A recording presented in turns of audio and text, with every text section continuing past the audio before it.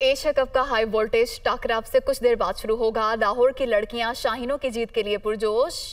कोई बाबर आज़म से तो कोई पाकिस्तानी बॉलर से उम्मीद लगाए बैठा है। मजीद जानते हैं हमारे नुमाइंदे जैन अली से। जी जैन, बताइएगा। जी बिल्कुल, एशिया कप 2023 का हाई वोल्टेज टाकरा अब से कुछ देर बाद शुरू होने को है, जिसमें पाकिस्तान मध्य मुकाबल होगा इंडिया के साथ। लड़कियाँ मेरे साथ मौजूद हैं, उनसे मजीद बात करते हैं। आप बताइएगा, किस प्लेयर से ज़्यादा उम्मीदें आपको और कितनी उम्मीद है कि पाकिस्तान जीत जाएगा?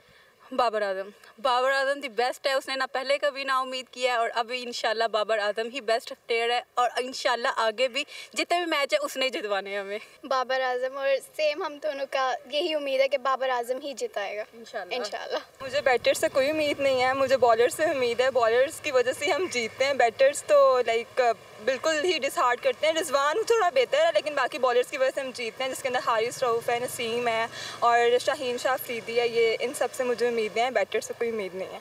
हाँ जी, बिल्कुल। किसी ने तो उम्मीद बांधी है बाबर आज़म के साथ, जबकि कोई, किसी का कहना है कि बल्लेबाजों से तो ज़्यादा उम्मीद नहीं रखी जा सकती, जबकि पाकिस्तान के जो बॉलर्स हैं, उनसे उम्मीद रखी जा सकती है। देखते हैं, जीत शाहीनों की किस्मत का फतह बनती है, या इंडिया वाले मारते हैं मैदान। जी।